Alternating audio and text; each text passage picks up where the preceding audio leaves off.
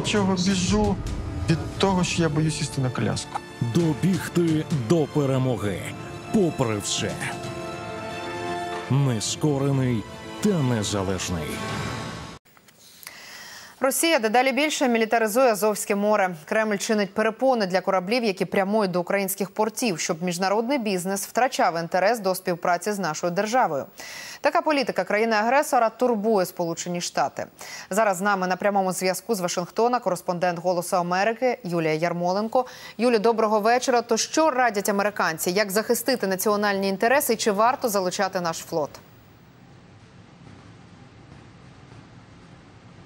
Оксана, Вашингтонські експерти називають ситуацію в Азовському морі вкрай небезпечною. Вони переконані, переслідуючи українські комерційні судна та заблокувавши доступ через Керченську протоку судна певних розмірів та ваги, Росія чинить економічний тиск на Україну, перешкоджає комерційному трафіку до Маріуполя і намагається унеможливити будь-яку діяльність українських суден в Азовському морі. І це може бути передумовою для військових дій. Принаймні так думає Майкл Карпентер.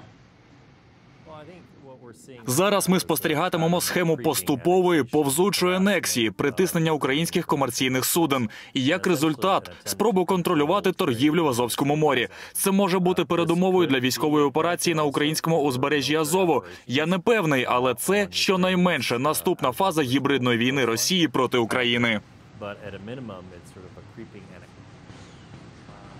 Карпентер не відкидає можливості анексії де юре, але вона, на думку колишнього посадовця Пентагону, може статися не раніше ніж за кілька років. Найменше, що Україна може зробити нині, каже він, це вести активні переговори з партнерами по НАТО, розробити спільну стратегію вирішення кризи, якої наразі немає ані Україна, ані Альянс. Якщо не діяти вже зараз, Україна втратить Азов, каже інший військовий експерт Глен Говард. Він пропонує вже зараз надіслати навіть маленькі судна до Азовського моря, аби так би мовити продемонструвати український прапор свободу навігації.